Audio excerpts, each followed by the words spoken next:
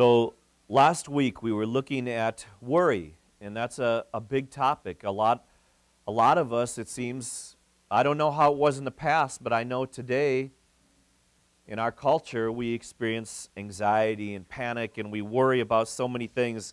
We worry about not only things in the future that you've heard before, that most of the things we worry about never happen. We also worry about things in the past, which is interesting because you, you ain't going to do anything about that. We cannot change what happens in the past. Anxiety, all sorts of mental and emotional distress, depression, we talked about last week, and how powerful that is. And we saw that Christ's mind, in Christ's thought process, the way we cope, the way we deal with these things is twofold. One, we lean in close to God. And you'll notice that Satan is a deceiver. Our own flesh is in rebellion with God. And so you'll notice when you're going through depression, anxiety, fear of all sorts, your tendency is to be upset with God or say, no, no, no, or I can't deal with God right now, I can't be at church. The very thing we should not do. Well, that's a deception. That's not the Holy Spirit who's telling you, you're too sad, you're too angry, you're too upset, you're too emotional. Don't go to church. That is not the Holy Spirit. That's a lie from the enemy, or, or it could be coming from our flesh. Either way, it's a, it's a deception. So Christ gave us a twofold pattern here. One, lean in close to God. And secondly, put his kingdom first. Put God first in everything. Uh, care for others. Putting God's kingdom first means caring for others. Love God, right, is the pattern, then love others. When we're full of love for God and we're full of love for others, the neat thing about that is there isn't room to be full of things like worry or greed or all that other stuff. This is God's arithmetic. Chase after the concerns of this world. I got to get, I got to get, I got to get. And the Bible tells us like trying to grasp the wind or catching oil in your hands. I got to get, you got your hands like this all the time. You open up, you got nothing. God's arithmetic. However, when we go before the Lord like that, He fills us with all good things. Put God and His kingdom first and gain all things. This is a message that's contrary to the flesh, contrary to the world. And so this makes a message very difficult. Uh, and again and again we see this. Jesus is not convenient. Jesus is challenging us all the time. The Holy Spirit is there convicting us all the time. And yes, God is scary. God's scary. He's not here to keep us in our comfort zone, He's here to draw us close to Him, away from the way we grew up, the way from the way our culture thinks, away from the things that we are naturally inclined to do are usually wrong. I got to get, I got to get, I got to watch out for myself. Nobody's going to say that to me. All those things, those knee jerk reactions, those brain cramps, are almost always, in almost every situation, wrong. And God is calling us to something very, very radical, very, very different. In faith is saying, okay, God, I want to follow you there. Take me out of myself. Now, I'm not saying you, we lose our personality. I'm saying this wickedness, selfishness, right? God, take me out of this. Lord, selfishness ruins my relationships with everybody around me. Selfishness makes me full of anxiety. Selfishness makes me depressed. Selfishness, uh, it, Lord, I'm always ticked off at you and with everybody else. There's no peace in selfishness. The Apostle Paul put it this way God's arithmetic godliness plus contentment equals great gain. This is the economy of heaven. This is how we have great gain. godliness, holiness, striving after things of God, in contentment, thankfulness in our hearts, appreciation in our hearts. When we're full of thankfulness, we're not full of bitterness.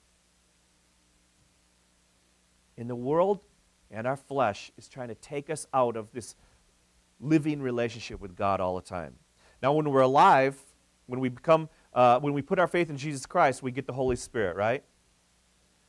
But the Bible says, now that you're alive by the Spirit, now therefore walk by the Spirit.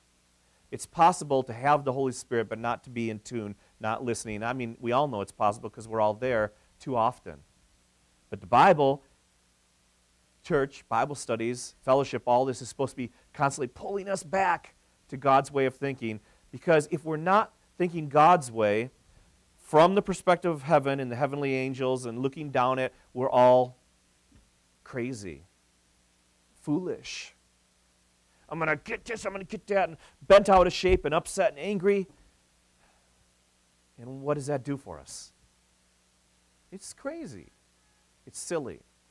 Well, like we said last week, you know, for crazy too, there's grace for that. There's grace for that. Jesus Christ's death on the cross paid for it all. And it's grace that allows us, instead of having to fight with it and argue with it and deny it and cover it, we can just say, God, here I am. I need your grace. I need your love. And we move in close to God once again. And He says, Now here's what I want you to do I want you to love everyone around you. I want you to care for them. I want you to think of them. I want you to desire good for them. Get out of yourself. That's a dead end. Now, the flow of chapter 12 in Luke, and you can turn it there if, if you haven't already. The flow of chapter 12 in Luke is very interesting. I said last week, sometimes we're reading these stories and we think there's just a story here, and now he's going to talk about rich people, and now he's going to talk about worry, and now he's going to talk about sharing your faith. We, we talk about them as if they're, they're all different ideas. But the way they're tied together here is very interesting. Jesus hits on several different themes that, again, at first glance, at first glance, they seem unrelated, but when you take a step back, then you can see it all together. You can see the whole narrative. Luke chapter 12, verses 1 through 3. Teaching here is be genuine. Christian, be genuine. Don't be like the hypocritical Pharisees, putting on a show for other people does not equal real faith. See that? That was another God's arithmetic thing. Does not equal. Putting on a show for other people does not equal real faith. Uh, Jerry was teaching about uh, evangelism this morning, did a great job with that. And he said something that I liked. He said, a cheesy presentation of the gospel is okay. Just do something. I'll tell you what, you can stumble over your words and it'll be okay. It can be cheesy as heck, and that's okay. What's, those are forgivable. What's not forgivable is if we're not genuine, if we're not earnest. And you know what? Even the unsaved can see the difference. If you're cheesy but you're earnest, that might open you a slight hearing. You know, they might listen to what you have to say. But if they think this person's a hypocrite, this person's a fake, I don't even really think they believe. All, I'm in, I, all I am is a checklist that they want to check off that they evangelized today. If they don't feel any concern for them, well, that doesn't work. Be genuine. Christ is calling his children into a real faith, not a hypocritical, make believe, put on show. Verses 4 through 7 Fear God I said God is scary. If you, know, if you don't know Him, or if you don't know Him very well, you will not fear God. You understand the living God, and we understand what it means to fear the living God. Jesus said, Don't worry about people. We worry so much about people who don't have their act together, what they'll think about us. They don't have their act together. And yet we're so concerned, what are they going to think of me? If I, if I if they know that I'm friends with the living God, the creator of the universe, what will they think of me? Uh, people who are spiritually dead, going into eternity without God, this is hell, need your love. They need you to love them more than you love your own comfort zone. But here's what you have to understand their opinion on spiritual matters should not matter to you. That's what being spiritually dead is. Their, their, their opinion on spiritual matters should not matter to you. Rather than fearing the lost, fear the living God. The worst they can do, and here Jesus is, here Jesus does this Jesus thing that's so scary. He said, What can they do to you? They can kill you. And Jesus, in his, you know, divine economy, the heavenly ma- mathematics, that ain't nothing. Rather, fear the one who could toss you into eternity uh, in hell. Verse 8 through 10 Be bold to acknowledge God publicly. Don't keep your faith a secret. Why do you think Jesus is talking like this? Well, all this progression here. Well, this is one of the things we worry about, isn't it? Because we're weak. We're, we can be cowardly. Lord, we need your strength. We need your courage. We need your wisdom. We need, what we need is love, right? no love, you keep your mouth shy, sh- silent. More love, you can't help. You love God, you can't help but talk about God. You love other people, you really want to share with them the message of Jesus Christ. We want to love people so much that it breaks our heart to see them go into eternity without Christ. And that's what it means to be more Christ like. Verses 11 and 12. Don't even worry about what you'll say if you are made to report in front of the authorities. What if the school board wants to talk to you, or, or, or, the police, or, or some local government officials, or somebody else? Don't worry when you're made to report to the authorities. The Holy Spirit will teach you at that time what to say. And again, if you are speaking earnestly, honestly, from your heart, the skillfulness of your presentation, how cheesy it is, does not matter. You talk from your heart about your relationship with the living God. The Holy Spirit can use that. Verses 13 and 15, more of God's arithmetic. Life is greater than the sum of our possessions. You know, the greater sign? Or for you guys, maybe it's this way. I don't know. What are you guys seeing? Anyways. When I have to look at it, I have to practice in front of a mirror, maybe. Hey, sign of the cross, almost okay. First time I did that in here. Uh, verses 16 through 21. Prosperity minus God equals nothing. We all believe that up here. Let's start to believe it here too. I could get everything. Prosperity minus God equals nothing. Verses 22 through 23 Real life is more than food and clothes. 24 through 26, our lives plus worry add nothing. And you, Jesus was almost laughing about this. And here's a funny thing also about your translation. Some of you might say add an inch to your height, and some may say add an hour to your life. It's because the word there is cubit, which actually meant from your elbow. It's talking about a ruler, but, but it's hard to know what he's talking about, whether he's talking about adding a cubit length to your life or adding a cubit length to your height. height. So either way, Jesus said, you know, living longer, adding some extra height, that's easy for guys like me. God's saying, you know, he's God, right? That's easy. But you can't even do that. So why are you worried about all of these other things? Our lives plus worry add nothing. Worry, how's that working out for you? Well, it's not. Worry is a cruel master. I want a good master. Uh, I want to fear only God. I'm not there, but I want to fear God with my life because I don't want to be living in fear of all of these other things Christ is talking about because those are cruel, miserable masters that treat us badly. They make us uh, miserable slaves. 32 through 34, uh, jump back, 27 through 31, again, Put God and His kingdom first and gain what really matters. 32 through 34. Trust God and care for others because where your treasure is, your heart will be also. And you can know what a person loves by checking their credit card account or their bank account, their, their uh, checkbook. So, the antidote to hypocrisy, fear, greed, worry, and a dead faith is loving God and actually getting out of ourselves and seeking to be a blessing to other people loving God, no longer being full of ourselves because now we're full of love for God, and caring, wanting to be a blessing to other people. Isn't that a good way to live? Wouldn't you rather be a blessing than a curse to those around you? Now, let's see where Christ goes next. And it's going to be difficult again and again. It's going to be surprising, uh, countercultural, unexpected. Jesus continues with the heavenly mathematics and he adds two more thoughts. One, listen to this. It's going to surprise you if you haven't studied this before. God divides, God splits, God breaks apart. Well, isn't God all about bringing people together? Yes, we come together through Jesus Christ. But as soon as Jesus Christ says, I am the way, the truth, and the life, no one comes to the Father except through me, as soon as he says that, what does it do? It's dividing between those who come to Christ and those who fight against Christ. Two, The equation of this life only makes sense, and it was funny because Jerry used almost these exact same words this morning in Sunday school class. Only makes sense in light of eternity. Only makes sense when we factor in eternity. Living for God in the here and now only makes sense if we live in the wake of God's future. Like the future's already out there, we got to be living in his in his wake.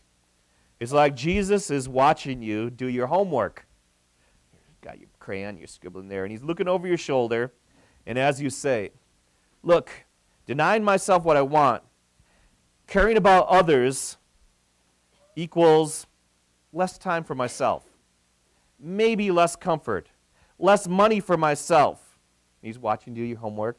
He puts his hand on your shoulder and says, Jesus smiles, he says, uh, but you forgot to factor in eternity.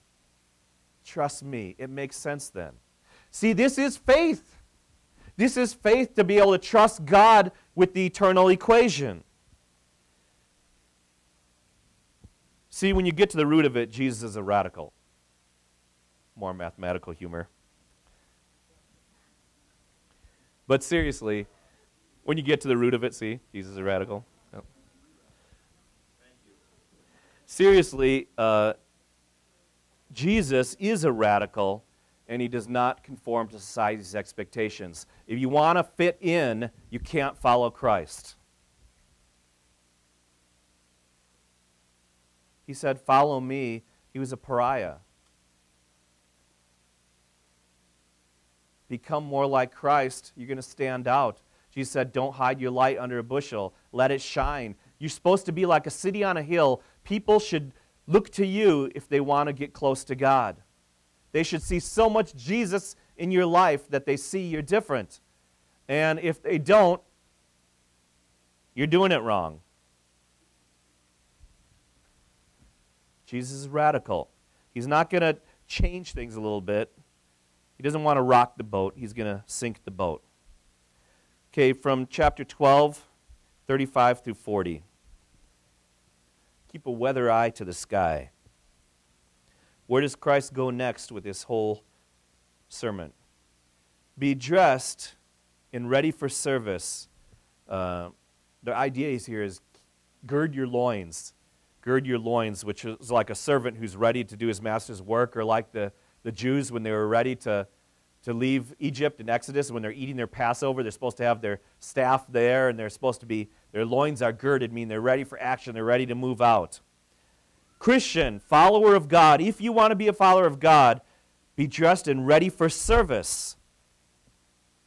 And keep your lamps burning, like servants waiting for their master to return from a wedding banquet. And I was reading some of the old timers, and they made a big deal out of this, and I think it's, it's, it's neat.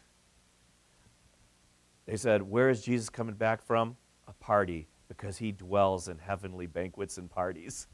I, I don't know if that was the point here, but I like it. Where is Jesus coming back from when he comes to get us? He's coming from perpetual paradise. He's coming from a wonderful place. Be ready for your master. He's coming back from a good time. So when he comes and knocks, they can the servants can immediately open up the door for them. It will be good for those servants whose master finds them watching when he comes. Listen to this. It will be good for those servants whose master finds them watching when he comes. Truly, I tell you, he will dress himself to serve. He's going to put on servant's clothes. We'll have them recline at the table and will come and wait on them. What? Didn't, you, didn't that kind of surprise you?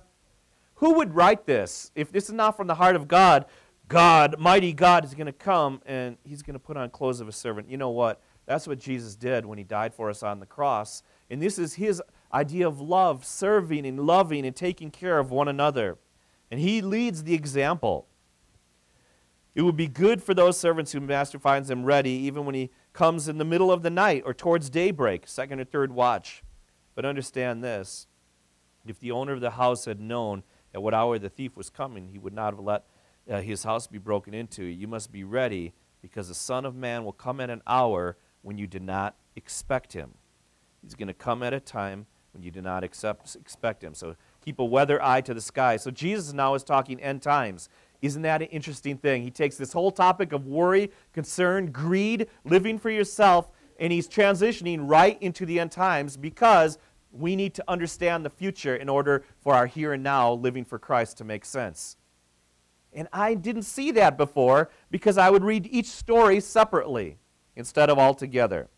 Verse 37 here, when it says he will come and serve, and how is this in the Bible? What is God is going to come and serve? It reminded me when we studied Hosea chapter 2, verse 16, just a couple weeks ago. In that day declares the Lord. In that day declares the Lord, you will call me my husband. You will no longer call me my master.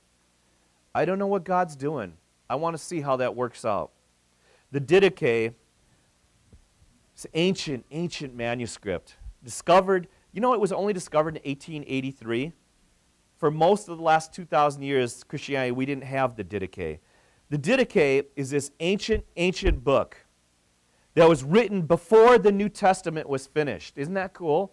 It's a Christian book written before the New Testament was finished. It was written while the apostles were still alive. The full name is The Teaching of the Apostles.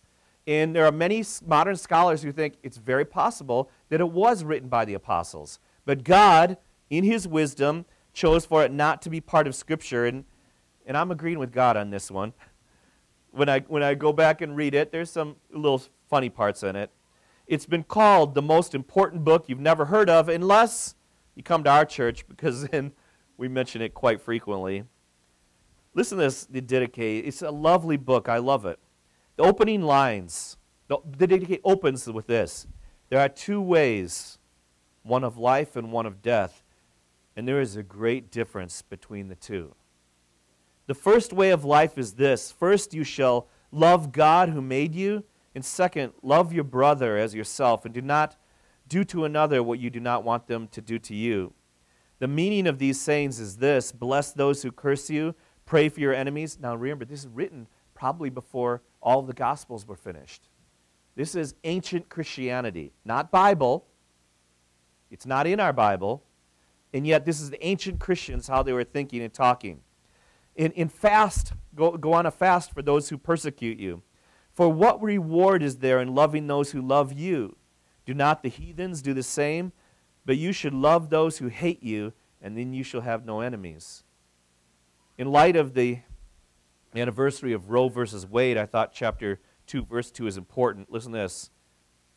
General teachings to Christians do not commit murder, do not commit adultery, do not corrupt young boys, do not have illicit sex, do not steal, do not practice magic, do not practice witchcraft. You shall not murder a child, whether it is born or unborn. Do not covet the things of your neighbor. And I, I often hear people who don't understand history say that uh, modern evangelicals are just anti abortion, but that's really not a part of Christianity. It is.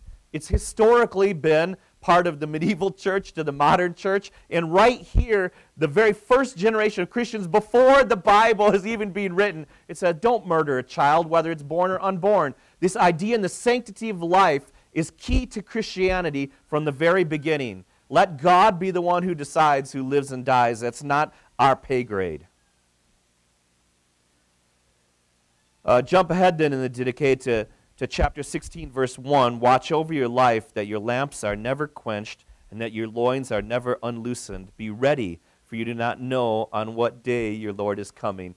Uh, come, come together often, seeking the things that are good for your souls. Isn't that beautiful?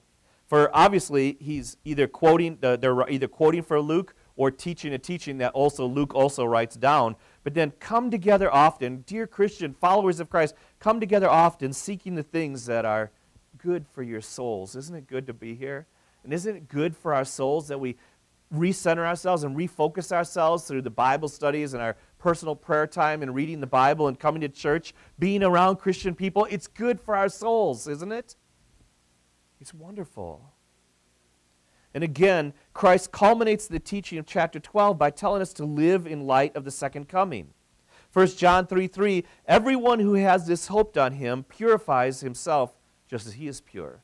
And Titus 2 12 through 14, instructing us to deny ungodliness and worldly desires, to, to live sensibly, righteously, and godly in the present age, looking for the blessed hope and the appearing of the glory of our great God and Savior Jesus Christ who gave himself for us to redeem us from every lawless deed and to purify for himself a people for his own possession, zealous for good deeds.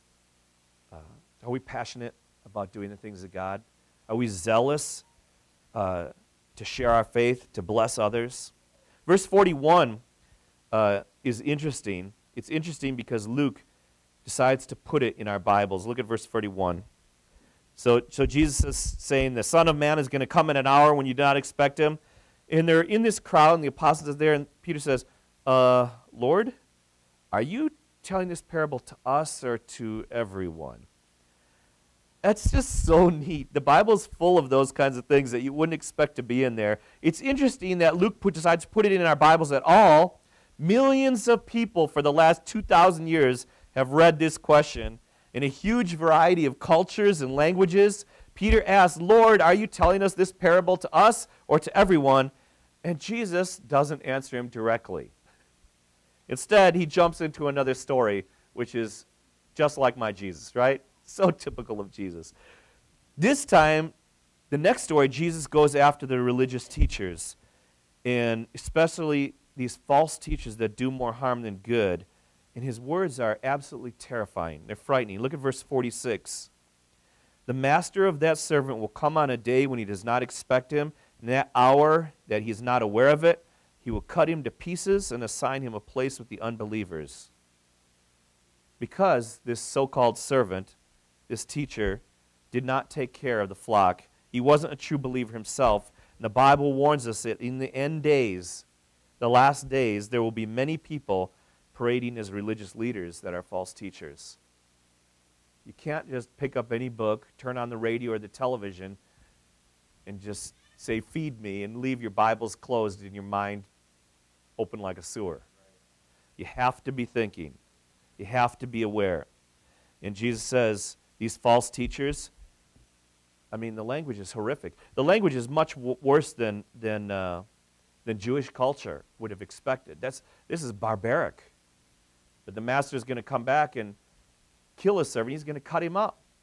And worse yet, he's excluded from the people of God for eternity. All right, read 49 through 53. And again, brothers and sisters, this is a Jesus that the world doesn't know. This is a Jesus who says scary things. This is a Jesus who means business. In the entire Old Testament, you know, we always say the Old Testament is so scary. The Old Testament only talks about hell in glimpses, it only foreshadows it, only talks about it a little bit. Most of the New Testament doesn't talk much about hell. It talks about how we can have faith in God here and now. Do you know who talks about divine punishment in hell the most in the entire Bible? It's Jesus, the one the world wants to keep as a cute little cuddly baby. They don't want to meet the, the mighty Savior who boldly came and laid down his life for those he loves and is coming back, and there will be division between those who believe and those who do not believe. Verse 49. And this is going to include an Old Testament quote from the book of Micah, where Michael says, Trust God. You can't even trust the woman lying in your arms, but trust God. Put him first and foremost in all things. So 49 through 53. Jesus says, the warm, cuddly Jesus, right? The, the precious moments Jesus. I have come to bring fire on the earth, and how I wish it were already kindled. We're going to put that on our marquee out front. I have come to bring fire on the earth, and how I wish it were already kindled. But I have a baptism to undergo. He's talking about the baptism of his death on the cross. There's something I have to undergo, there's something I have to do before this fire is unleashed. And what constraint I am under, what anxiety I am under, your translation may say, until it is completed. It weighed heavily on him. Do you think I came to bring peace on earth? No, I tell you, but division. From now on, there will be five in one family divided against each other, three against two, and two against three. They will be divided father against son, and son against father, mother against daughter, and daughter against mother, mother in law against daughter in law, and daughter in law against mother in law.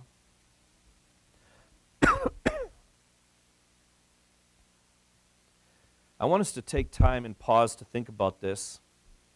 Jesus is planning, he says, I, I long to kindle a fire. He wants to start a fire that's going to burn away false religion, going to burn away the self deception, the things we tell ourselves that just aren't true. And he wants to start a fire for the gospel, a fire of passion that's going to consume our hearts, is going to burn away all the things in our hearts that don't belong. And this fire that he started in Jerusalem has spread like a wildfire across the planet. This is why Christ came. He says, I need to start this fire. I need to, to change things, to burn things up so something new can come. Burning away all the false, bringing the true and the real. And guess what? The kindling was his own body. This is how seriously that he wanted to bring the fire of the gospel that would burn across the entire globe. He was going to lay down his own life. Why would Jesus do this? We can't go to heaven without the blood of Jesus Christ. Sisters, brothers, we're messed up inside. We are sinners. We fight with God all the time. We make excuses. We run from the light because it's too bright. Sometimes it's easier to live in, live in self deception than to come close to Jesus and see all the mess I have to fix, all the mess that's wrong inside. Jesus Christ loves you. At your worst, most miserable, pathetic point that you don't want anybody to see because you feel if people saw me at my worst, they wouldn't put up with me. They wouldn't love me. Jesus sees you at your worst and he still wants you. He wants you at your worst. When he sees you as at your worst, he says, "I'll die for that one. I want you in my family." Lord, you don't want me. I want you. And I'm going to make something beautiful out of your life.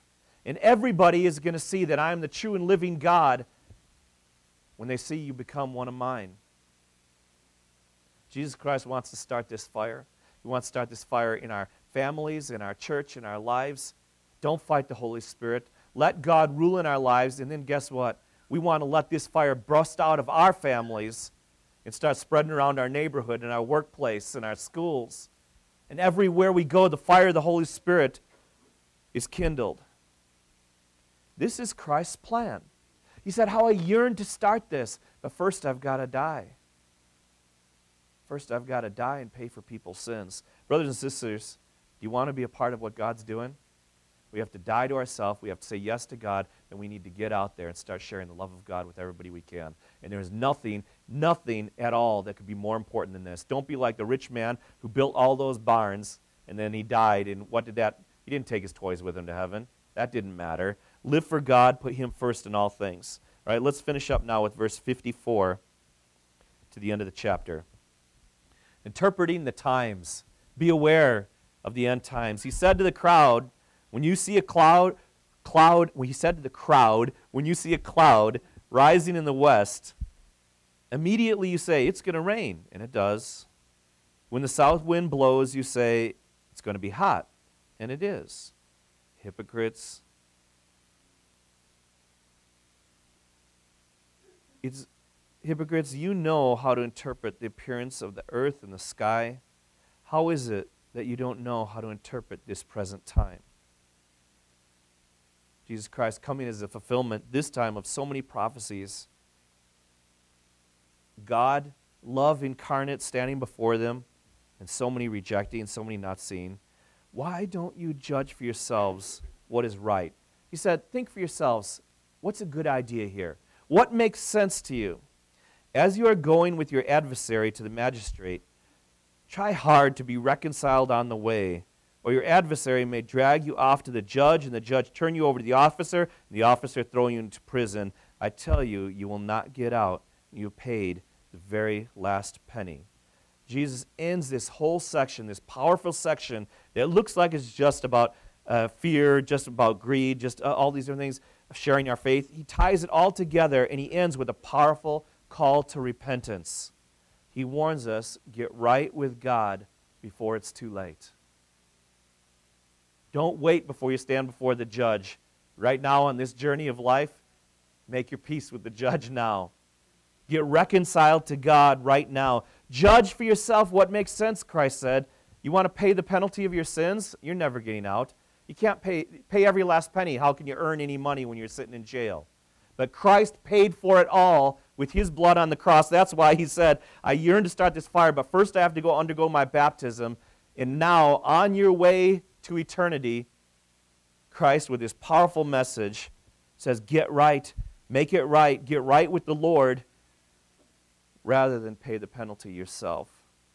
Be reconciled to the living God. And I think it's kind of neat here, come to Jesus message from Jesus. I want to end with another quote from the Didache. Let grace come and let this world pass away. Amen. Thank you for watching. Foundation TV is a ministry of Foundation Bible Church, Janesville, Wisconsin. Find us online at foundationbiblechurch.com. Foundation Bible Church, inconveniently located two blocks northwest of the Janesville Athletic Club.